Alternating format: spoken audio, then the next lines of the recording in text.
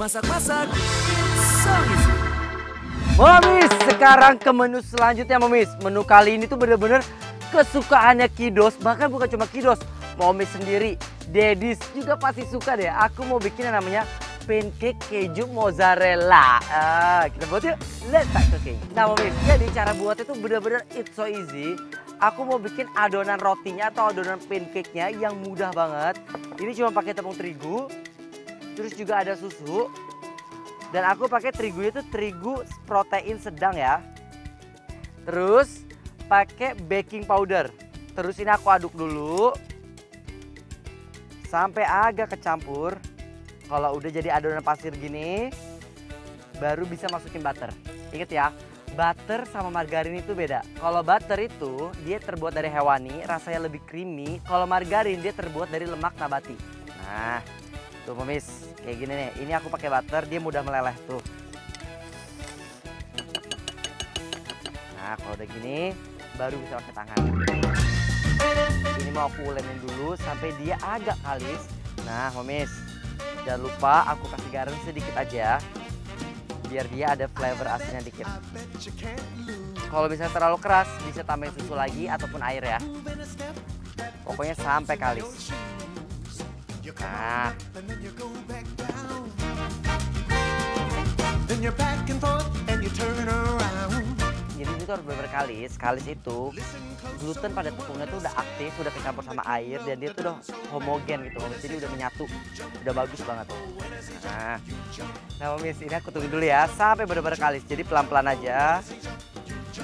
Nah Momis, tuh ini udah kalis tuh. Kalau udah kalis, tuh lihat tuh. Ini udah elastis banget. Kalau udah begini, aku mau diemin dulu. Aku mau bikin mashed potato-nya.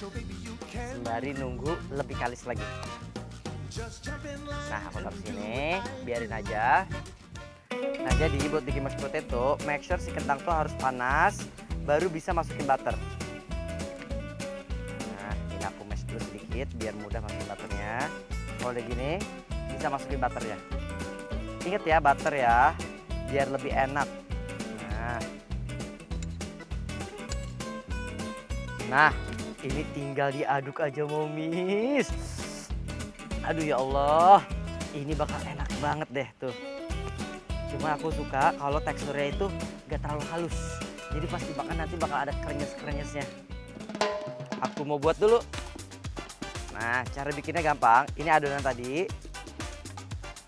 Aku mau bagi dua. Nah, ini aku mau bikin jadi dua adonan. Satunya aku singkirin dulu. Bener-bener kayak kita nipisin martabak, tapi nggak setipis martabak ya. Lihatin ya cara nyusunnya. Taruh kentang dulu. Jangan sampai terlalu full. Cukup segini aja. Dan mozzarellanya momis. Taruh mozzarella yang agak banyak. Kayak gini. Tinggal kita lipat. Lipatnya begini nih. Satu. Dua. Tiga. Empat. Pokoknya sampai benar-benar nutup. Nah. Nah.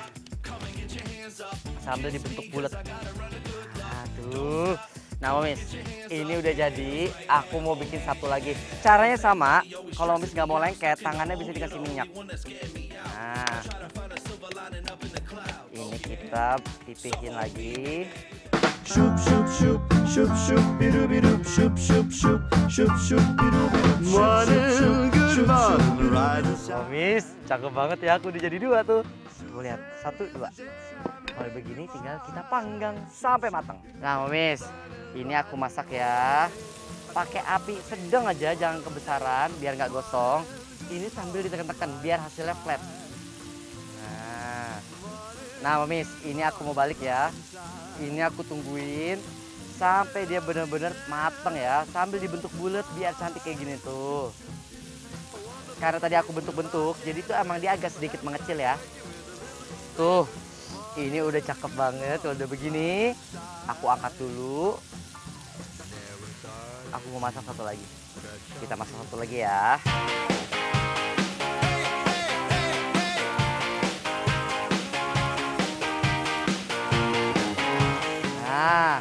Ini udah mateng. Sekarang aku mau kasih topping. Aku udah bikin tiga. Sekarang aku mau kasih icing sugar. Nah, inget ya, icing sugar atau gula donat. Aku kasih dulu atasnya. Hmm, kalau momis mau pakai bubuk coklat juga boleh. Jadinya kayak tiramisu. Momis, pertama aku mau bikin rasa matcha dulu. Aku bikin satu di atasnya. Nah, ini aku mau bikin rasa matcha. Sama ada karamel. Eh, tuh momis, aku mau bikin rasa karamel. Sama yang terakhir coklat crispy. Hmm, ini yang enak momis, yang ngasih tekstur. Nah, ini aku mau ratain dulu. Biar cantik, aku mau kasih icing sugar lagi di atasnya untuk yang matcha. Nah, sama yang coklat dan juga karamel. Hmm. Nah, Momis, biar makin cantik, aku kasih karamel. Ini dia, Momis. Pancake keju mozzarella, lumernya gak kira-kira. It's so easy.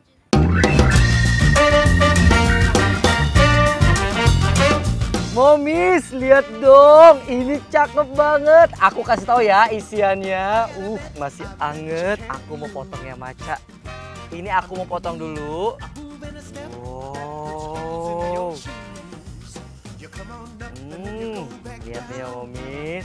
Momi setuju kan kalau menu yang satu ini tuh bener-bener unik dan menggoda banget. Apalagi kalau dimakan pas masih panas-panas kayak gini nih Momis.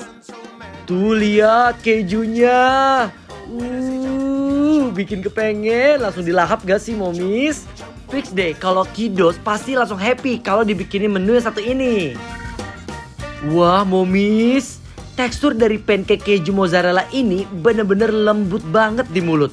Pokoknya kalau bikin menu satu ini nih wajib banget Momis ajak kidosnya supaya bisa berkreasi bareng-bareng di weekend ini. Jangan lupa ya atasnya juga dikasih topping sama yang manis-manis biar makin lengkap.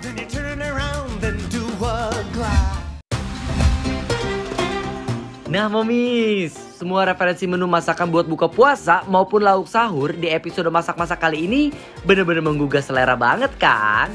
Jangan lupa di ya di rumah dan tag akun Instagram at masak-masak transtv buat tunjukin keseruan momis.